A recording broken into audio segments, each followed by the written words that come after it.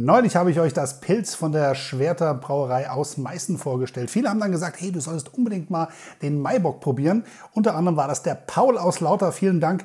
Er hat dafür gesorgt, dass ich das jetzt machen kann, wenn ihr dran bleibt.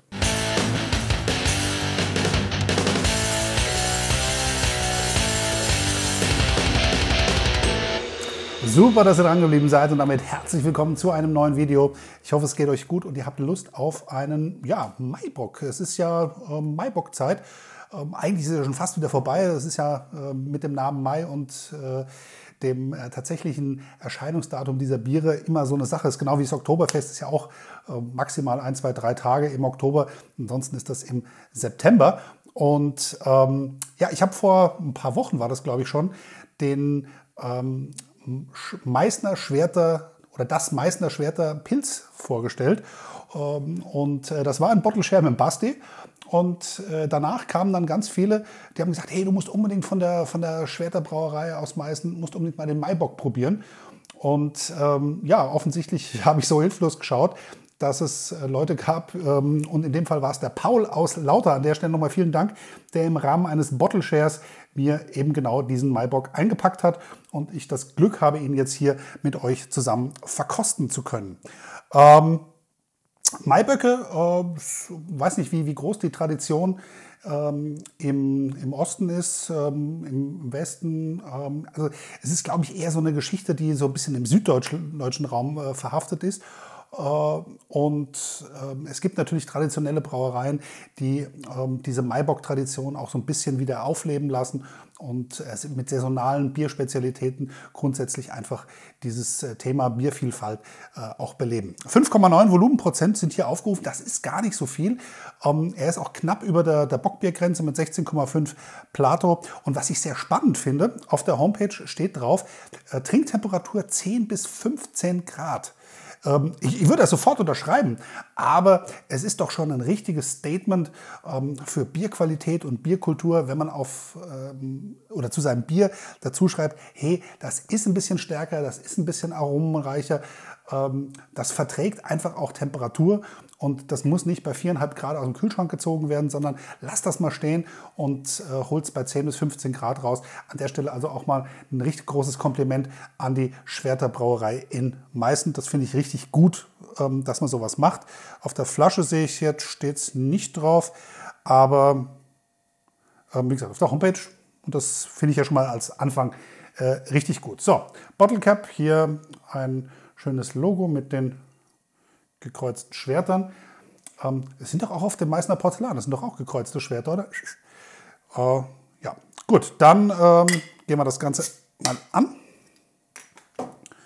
Und ich bin sehr gespannt, was ihr mir da empfohlen habt, ob ich mich da auch wiederfinde. In jedem Fall mal optisch ein echtes Leckerli. Eine ja, ungetrübte, aber tief goldene Farbe, bisschen Kohlensäure drin zu sehen. Ein weißer Schaum, ja doch, zwei, zweieinhalb Finger breit hier in dem Kostglas. Und ähm, ja, das ist einfach, also gerade diese, diese, richtig kräftig goldene Farbe, das erinnert fast eher an ähm, so, einen, so, einen, Bock, der so um die Weihnachtszeit oder im Herbst, da ist die, die Maiböcke sind ja für meinen Begriff zumindest ähm, tendenziell immer ein bisschen, ein bisschen heller. Oh, sehr schön fruchtig. Geht so ein bisschen in die Orangenrichtung. Grasiger Hopfen. Und natürlich, also dann merkt man, dass es schon schön, schön viel helles, kräftiges, süßliches äh, Malz drin. Und das ist natürlich auch in der Nase relativ problemlos wahrnehmbar. So soll es ja auch sein. Ja, in diesem Sinne. Cheers.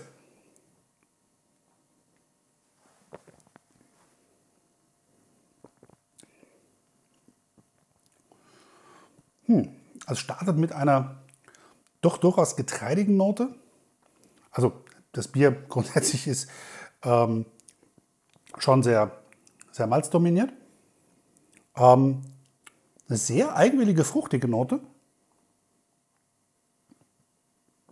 Das meine ich im allerpositivsten Sinne. Ähm, es hat so eine leichte bisschen Birne, ein bisschen Orange.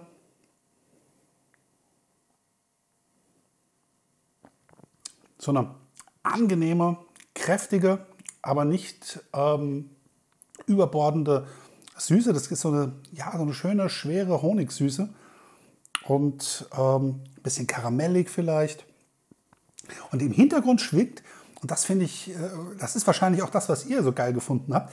Im Hintergrund schwingt so eine leichte Hopfennote mit. So grasiger Hopfen, ähm, ohne dass der jetzt zu bitter wird. Es hat so eine leicht moderate bittere, aber dadurch, dass auf der anderen Seite dieses Schwergewicht von dieser Honigsüße steht, ähm, kann die sich so ein bisschen austoben, ohne ähm, dass, dass die da ja, zu sehr ins Gewicht fällt.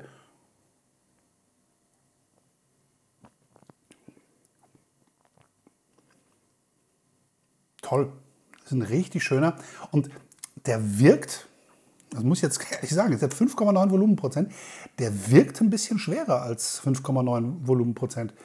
Ähm, der ist eher, ja, also wenn mir einer gesagt hat, das Bier hat so 7,5 bis 8 Volumenprozent, hätte ich auch geglaubt. Ähm, andersrum, ich hätte es eigentlich nicht geglaubt, dass es nur 5,9 hat.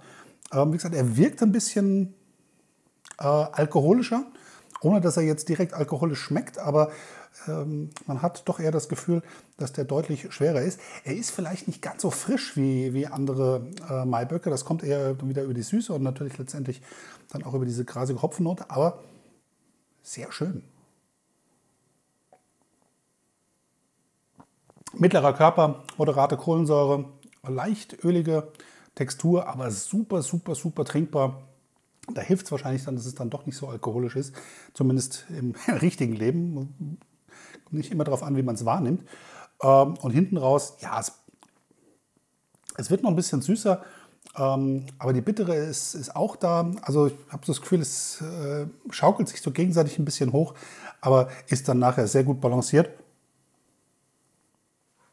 Und in Summe ist es eine deutliche Malzbetonung natürlich bei dem Bier und ähm, ich glaube, ihr habt nicht zu viel versprochen.